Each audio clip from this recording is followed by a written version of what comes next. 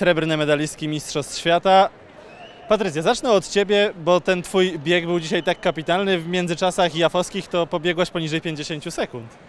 Eee, nie wiem, możliwe, wszyscy tak mówią, natomiast e, myślę, że wszystkie pobiegłyśmy fenomenalnie.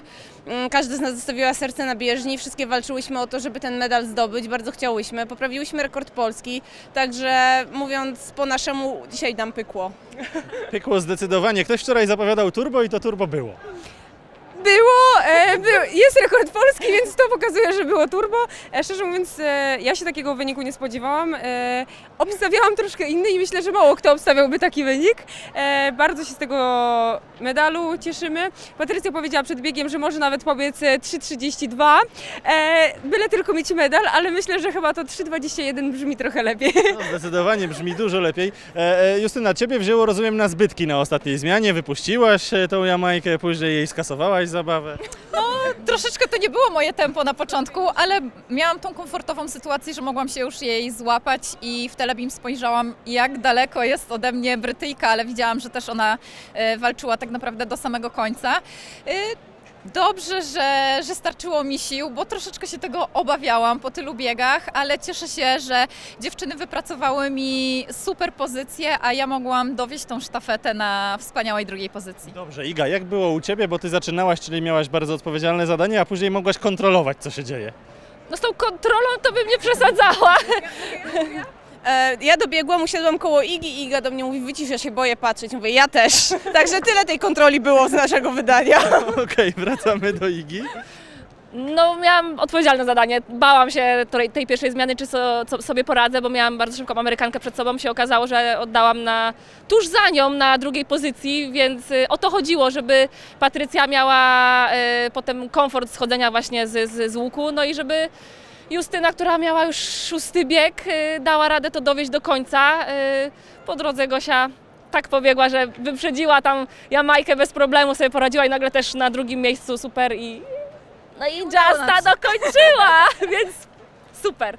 Długo- Zaczęłyśmy dobrze i skończyłyśmy jeszcze lepiej. Tak jest, skończyłyście fantastycznie i ten rekord polski, o nim też trzeba powiedzieć, 2,6 sekundy. Długo na ten rekord czekałyście, ja pamiętam i Berlin, była historia, że może w końcu i tutaj też mówiłyście, że może w końcu, ale jak już jest rekord, to jest z przytupem. Tak jest.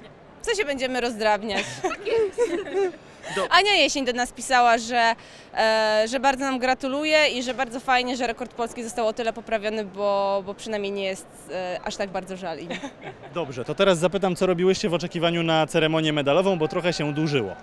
E, powiem tak, e, włączyłyśmy telefony e, i zaczęły tak wibrować, było tyle wiadomości bardzo miłych, e, wszyscy pisali z gratulacjami, więc tak naprawdę byłyśmy troszkę wyłączone, bo siedziałyśmy na telefonach, ale też sprawdzałyśmy, co się dzieje, ponieważ wiedziałyśmy, że mm, coś się zaczyna dziać, bo, jamaj, bo są protesty, jamaj, Jamajki zaczęły się rozbierać, że jednak wychodzą, że nie będą miały tego medalu, więc troszkę się zestresowałyśmy, ale nam od razu powiedzieli, że mm, nasza pozycja jest czysta, że tak to nazwę.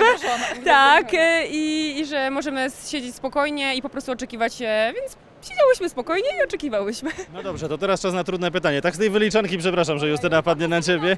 No, padło na ciebie. Czy wy macie jakiś kres swoich możliwości, bo rozwijacie się tak, że to jest niesamowite.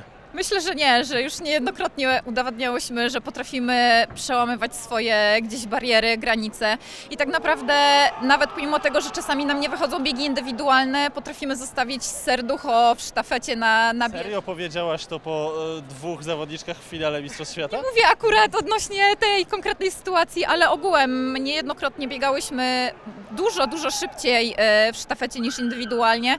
Dlatego cieszę się, że ta sztafeta ma taką moc i, i, po, i po, po prostu potrafimy walczyć właśnie dla, dla całego zespołu, dla siebie, żeby móc się cieszyć tak jak teraz z srebrnego medalu. To najważniejszy medal w tej sztafecie?